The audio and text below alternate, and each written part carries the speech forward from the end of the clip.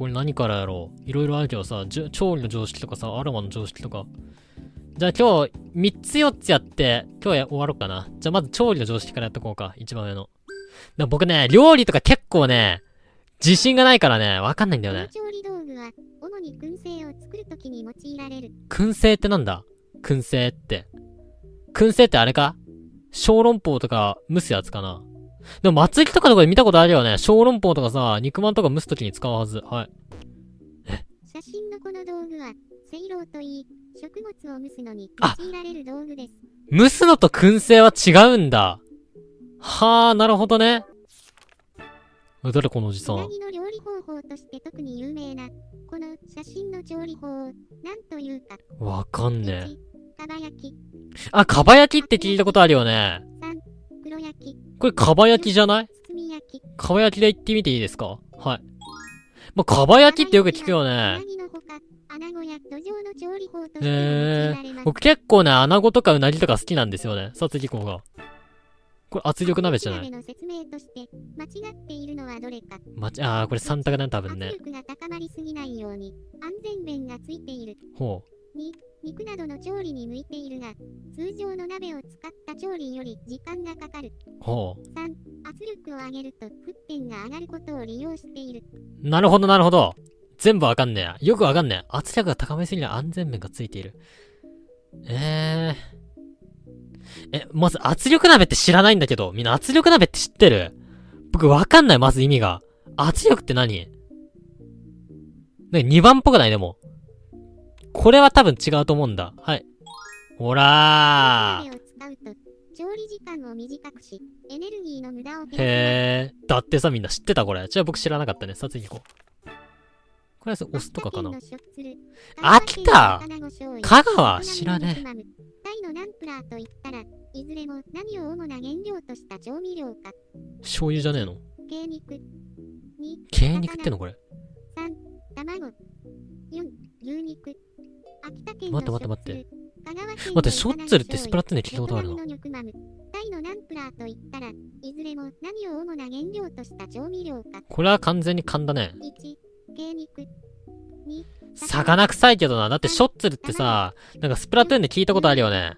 ショッツル鉱山。だからこれ多分ね、スプラトゥーンイコール魚と関係してるから、これ多分魚だと思うんだ。いくよ。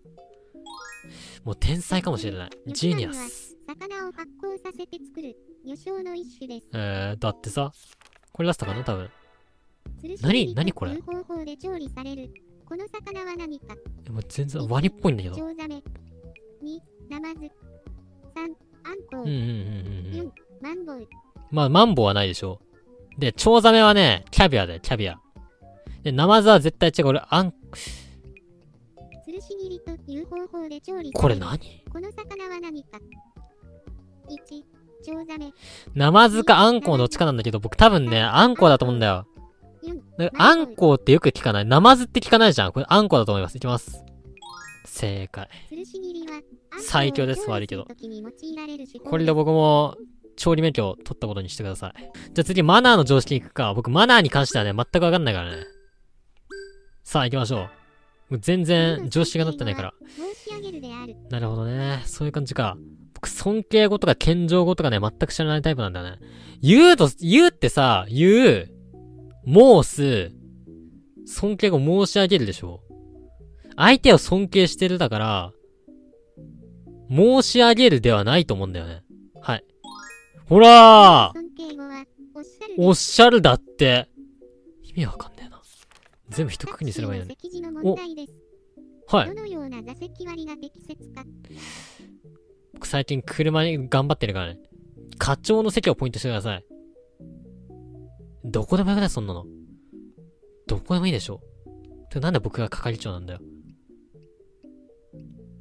ま、C はないでしょ。あ、ここはダメなんだ、やっぱ。こういうのって A じゃないで、係長の僕が D じゃないはい。ああ、合ってた。運転手の後ろの席が最上席です。えー、めんどくさ。なんだそれ。いいじゃん、好きなとこに座ればさ。どこでもいいじゃん、そんなの。なんかめんどくせえな。さ大さんも通。夜の式の後に行われる、通夜振る舞いの席での行為として、ふさわしいものは次のうちどれか。1、個人の思い出話の途中、笑い話で笑い声を上げた。2、あまり長居をすると迷惑になると思い、早めに退席した。うーん。お腹が空いていなかったので、出された料理に箸をつけなかった。なんか、どれも、なんか、どれも、どれもいいように見えるけどね。個人の思い出話の途中、笑い話で笑い声を上げた。いいんじゃない？別にそれで、それ。僕悪くないと思うけどな。別にそれで雰囲気ぶち壊さないんだったら。なんか、そうした方がなんか、天国に行った、その、人も、仏様も多分、喜ぶと思うけど、長いすると迷惑になるとか早めにその退席した。いや、これも別にないと思うけど、お腹が空いていなかったら出された上に箸をつけなかった。いや、これは箸をつけた方がいいです、さすがに。さすがに食べた方がいい。いや、でも、もったいないのか。うーん。ちょっと考えさせてくれ。みんなこれ決めた。僕これね、一番だと思うんだ。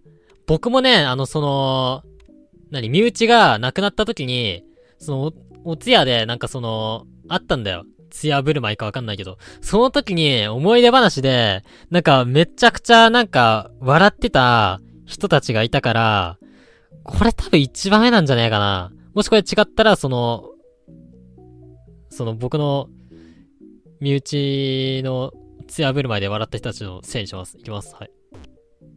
へー。あまり長居をしないよう心がけましょう。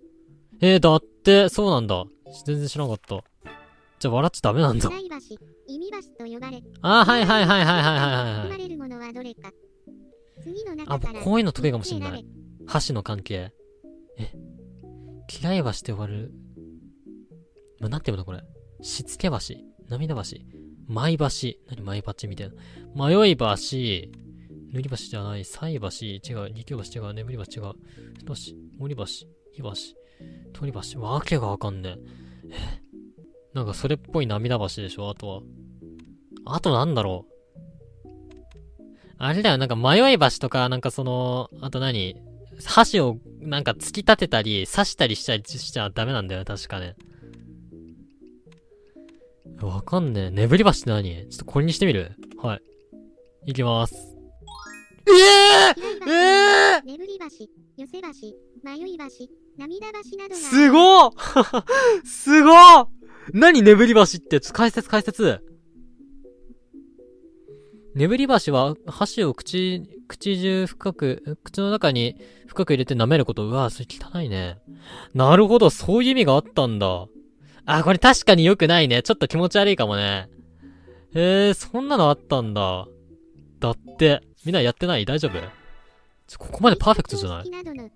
葬式などの葬儀での忘れちゃったけどについて間違っているものはどれか。ん？1、花を受け取ったら献花台の前に進み、祭壇に向かって深く一礼する。2、根元が手前に花が祭壇を向くように、両手で持つ。わからん。3、両手を添えて献花台に備え、左手、右手の順に手をつく。わり、僕、キリスト教じゃねえからさ、仏教だからさ、僕、よくわかんないけど。うん仏教、ん？わかんない。あ、まだクリスマスとか、キリスト教か。ハロウィンとかも。え、なんか仏教だからな、よくわかんねえんだわ。ええなんか葬儀においては僕、仏教だからキリスト教は知らないよ。花を受け取ったら、わからんな。どうしよう、これ。ちょっと考えさせてくれ。これさ、3番じゃね？両手を添えて、喧嘩台に備え、左手、右手の順に手を引くんじゃなくて、右手、左手とかありそうじゃない？なんかすごい細かいところついていきそうだよね。じゃ、これでいきます。はい。なるほど。花が手前に、根元が祭壇を向くような形をとります。へえ、僕キリスト教じゃないからわかんないや。あ、じゃあ次日本語の常識言ってみる。僕日本語全くわかんないからね。ちょっとよろしく。日本人だけど僕。はい。期末試験の回答用紙。おいおいおいおいおいおいおいおい。正しいものは舐めすぎとちゃう ?1、舐めすぎとちゃう？3、はい、バカ。バカ。これですね。もうこれに関してはもう、常識も常識よ。そうだね、一瞬迷っちゃったけどね。何回答の回るってって思ったけど。る数が他と違うものはどれか。任せて。1、2、3、ゴリ夢中。一国、一日、四。司祭、死罪、い一遇。五里夢中。五里夢中だけは知ってるわ。一国、一日し、五里夢中じゃねほらー他4か。あ、1000だって。え？待って、1000が入るだって。あ、潜在一遇か聞いたことあるあ、一国千金あ、聞いたことあります一日、一日選手、これは聞いたことないですね。